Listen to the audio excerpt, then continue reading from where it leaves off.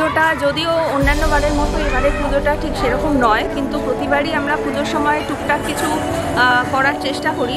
আচ্ছা এরা তিনজনেই ধূপ বিক্রি করে। তোরা কোন জায়গাটায় ধূপ বিক্রি করিস এরা হাতে রীতিমতো স্যানিটাইজার নিয়ে ঘুরছেন। Morning everyone welcome back to my channel আজ আর একটা নতুন ভিডিও নিয়ে তোমাদের কাছে চলে এসেছি। আর আজকে হচ্ছে পঞ্চমী, তো সবার আগে তোমাদের প্রত্যেককে জানাই শারদীয়ার অনেক অনেক শুভেচ্ছা। সবাই খুব সুন্দরভাবে সেফলি এই পুজোটা কাটাও।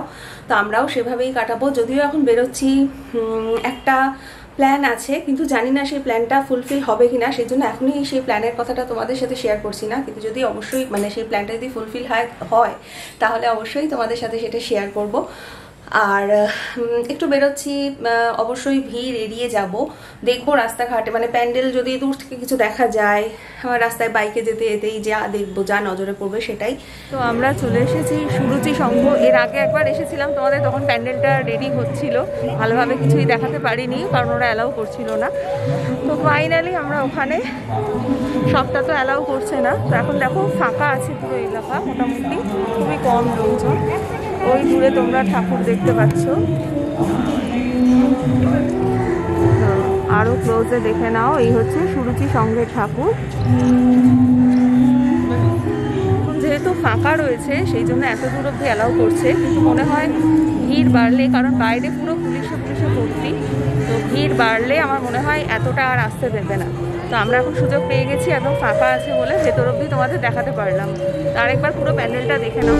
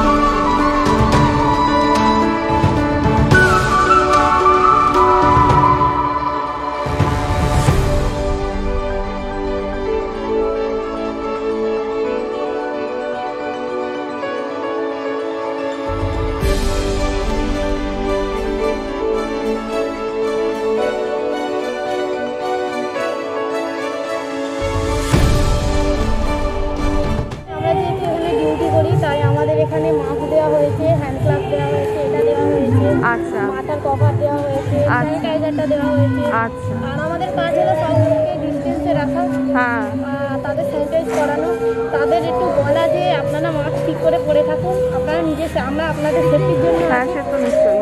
আপনারা নিজের সেফটিটা বজায় রাখুন।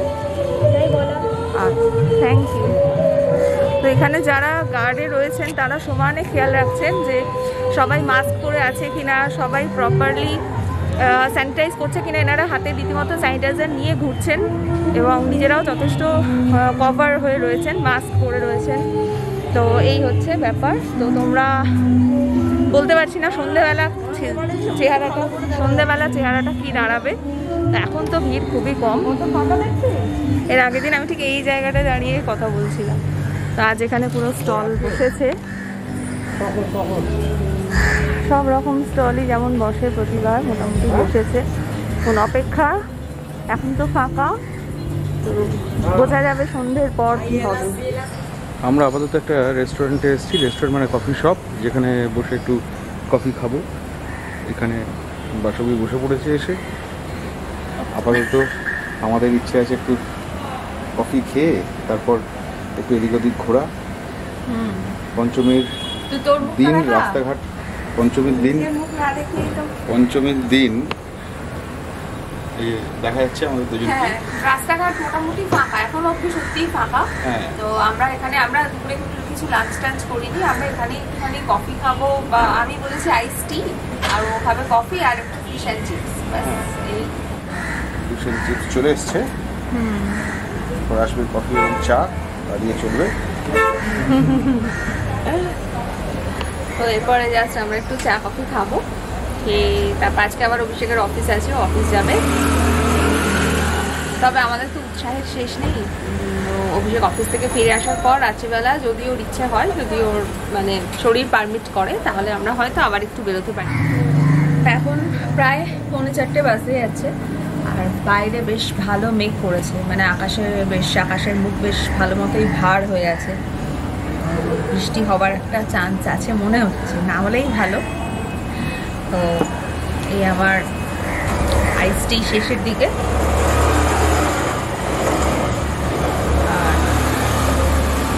অভিষেক গেছে একটু কাজে, ওর এখানে একটা দরকার আছে, তো আমি এখানেই বসে আছি কফি শপে পুজোটা যদিও অন্যান্য বারের মতো এবারের পুজোটা ঠিক সেরকম নয়, কিন্তু প্রতিবারই আমরা পুজোর সময় টুকটাক কিছু করার চেষ্টা করি। তো এবছরও তার ব্যতিক্রম নয়। তো পুজোর সময় আমরা নিজেরা যেমন আনন্দে থাকি, এখানে ওখানে খেয়ে বেড়াই, ঘুরে বেড়াই। তো এরকম কিছু পথশিশুও তো রয়েছে, তো তারাও তো দেখে, তারাও ঘুরে বেড়াচ্ছে, তাদেরও তো ইচ্ছে করে। তো তাদের কথা ভেবেই আমরা মানে আজকের দিনটা তাদের সাথে কিছুটা সময় কাটাবো বলে ভেবে রেখেছিলাম। তো সেই রকমই কিছু ছোট ছোট বাচ্চার সন্ধান আমরা পেয়ে গেছি। একটু পরেই তোমাদের সাথে তাদের আলাপ করিয়ে দিচ্ছি। তাদের মধ্যে আমরা একটা খাবারের কম্পিটিশান করব। এটাতে ব্যাপারটা ভীষণ মজারও হবে এন্টারটেইনিং হবে ওরাও খুব আনন্দ পাবে। আমরা এখন এই যে তিনটে বাচ্চাকে দেখছ তোদের নাম বল তোর নাম বল। হ্যাঁ? তোর নাম দোষ ওর নাম কি? কি নাম? রাজ। রাজ। তো এদের তিনজনের মধ্যে এখন একটা রোহিত পরিতোষ আর রাজ। পরিতোষ না। হ্যাঁ? ফিরদৌস। ও আচ্ছা ফিরদোস আচ্ছা। রোহিত ফিরদৌস আর রাজ। বাহ বেশ ভালো তিনটে নাম। হুম তো এদের তিনজনের মধ্যে এখন একটা কম্পিটিশন হবে ফ্রাইড রাইস কম্পিটিশন কে সবার আগে শেষ করতে পারে। ঠিক আছে?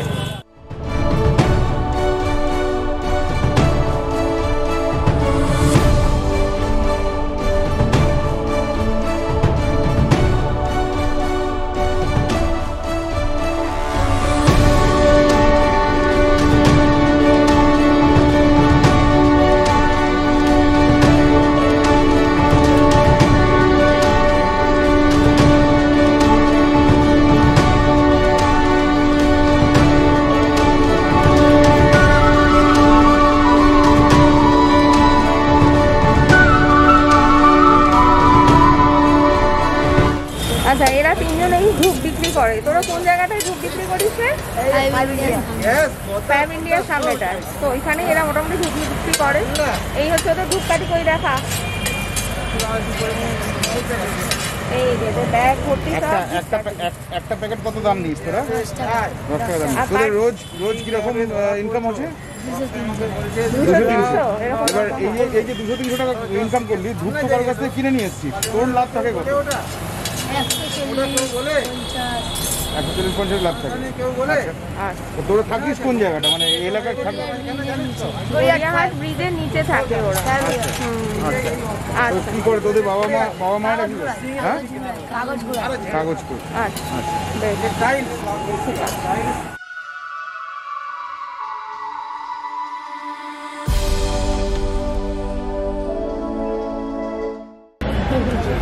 এটা এটা ওদেরকে বলা হয়নি যে যে ফার্স্ট হবে তার জন্য থাকবে একটা ছোট্ট পুরস্কার। হ্যাঁ যে ফার্স্ট হবে তিনজনের মধ্যে কম্পিটিশন স্টার্ট হয়ে গেছে। যে ফার্স্ট হবে তার জন্য থাকবে একটা প্রাইজ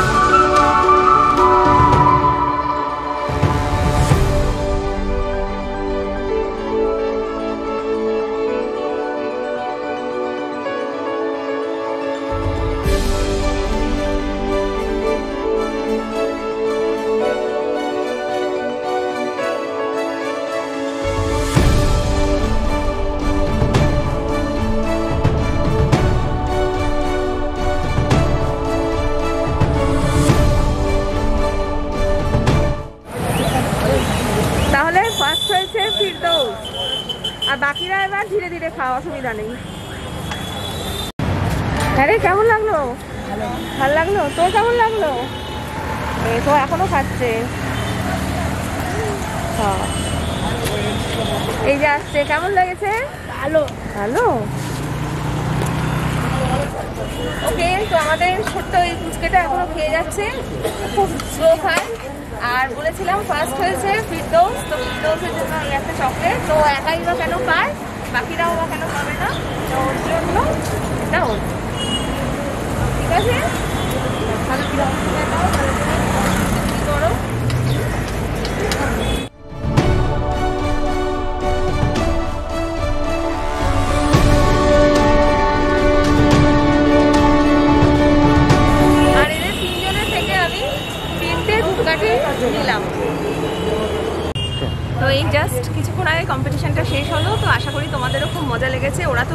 খুশি এরকম একটা কম্পিটিশানে পার্ট নিতে পেরে। আর আসলে আমাদের ইচ্ছে ছিল ওদেরকে একটু বিরিয়ানি খাওয়ানোর, কিন্তু ওরা আবার আমাদের নিয়ে গেল ওই দোকানটায়, বলল আমরা এখানেই খাব। প্রথম বলছিল, পাস্তা খাব। তো তারপর দোকানদার বলল, পাস্তা বানাতে অনেক দেরি হয়ে যাবে। তখন ওরা বলল, তাহলে ফ্রাইড রাইস খাব। তো সেই জন্য ফ্রাইড রাইস আর ওটা কি চিকেন পকোড়া বোধহয় ছিল। তো এই দিয়ে ওদের কম্পিটিশানটা করলাম। একটা ছোট্ট প্রচেষ্টা। তো এই, আর আজকের মতো এই ভিডিওটা আমি এখানেই শেষ করতে চাইছি। আমি জানি না আজকে রাতে আমরা আর বেরোবো কিনা। তো যদি বেরোই তাহলে একটা ভিডিও নিশ্চয়ই আসবে আবার। তো আজকের মতো এই ভিডিওটা আমি এখানেই শেষ করছি। যদি তোমাদের ভালো লাগে তাহলে প্লিজ আমার চ্যানেলটাকে লাইক সাবস্ক্রাইব করো। আর চ্যানেলটাকে অবশ্যই ভিডিওটাকে লাইক শেয়ার কমেন্ট করতে ভুলো না। তাহলে দেখা হচ্ছে পরের ভিডিওয়ে। প্রত্যেককে আবার জানাচ্ছি শারদীয়ার অনেক অনেক শুভেচ্ছা আর ভালোবাসা। তো দেখা হচ্ছে পরের ভিডিও ততক্ষণ জন্য.